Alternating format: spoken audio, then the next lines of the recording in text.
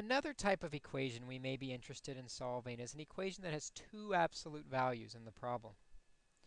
And just like with any other absolute value equation, with two absolute values, we need two equations. The difference is now we can't just say the answer is positive 8 and negative 8. Now there's a whole expression on each side of the equation. So as we set up our equations, though, we'll set them up real similar. We'll take the stuff inside the absolute value is equal to the positive of the right side, or the stuff inside the absolute value is equal to the negative of the right side, whatever that stuff is. Let's take a look at an example where maybe that makes a little more sense. Here we have two absolute values, the 2x minus 6 and the 4x plus 8. What we're going to do is say that the right side could be positive or negative. What we're really saying is they either have matching signs or opposite signs, but the number itself, the distance from 0, is the same.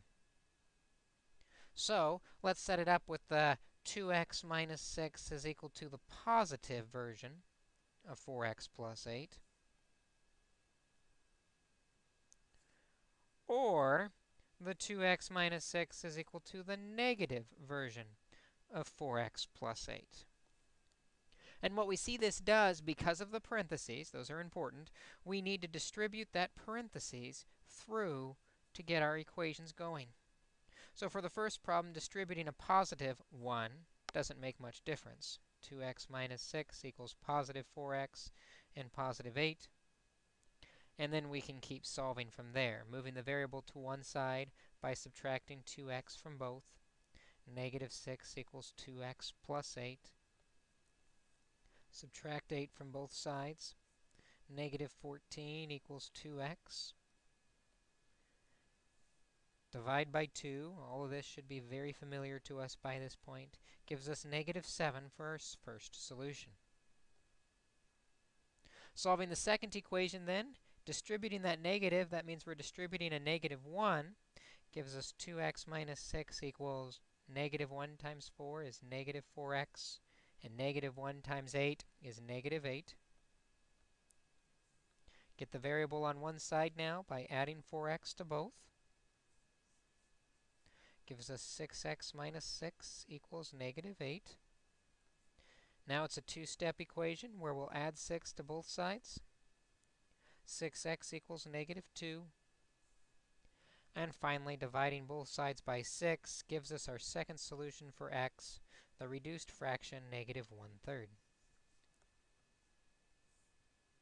So we're still considering the positive and negative option. It's just instead of positive and negative number, its positive and negative expression in parentheses. Let's look at another example. Here we have 3x minus 5 is equal to the absolute value of 7x minus 2. Again, those absolute values could have the same sign or opposite signs, so we'll put a plus or minus in front of the second part of the equation. So the first equation, 3x minus 5, is equal to the positive expression, 7x minus 2. Or the 3x minus 5 could be equal to the negative expression, 7x minus 2. And again, the parentheses are very, very important. Because the first step is going to be to distribute through that parentheses. So we have 3x minus 5 equals, distributing positive 1, doesn't really change much, 7x minus 2. We'll get the variable on one side by subtracting 3x from both sides. This gives us negative 5 equals 4x minus 2. Then we add 2 to both sides. Negative 3 equals 4x. And finally, dividing by 4, giving us x is equal to the fraction negative 3 fourths, our first solution for the variable. To get our second solution of what number x could represent, we need to distribute that negative through the parentheses. Remember, that's a negative 1. So we have 3x minus 5 equals negative 7x plus 2. Negative times a negative is a positive. Be careful with the signs. Get the variable on one side by adding 7x to both sides. We get 10x minus 5 equals 2. Add 5 to both sides, giving us 10x equals 7. And finally, we'll divide both sides by 10 to get our final answer, x is equal to 7 tenths.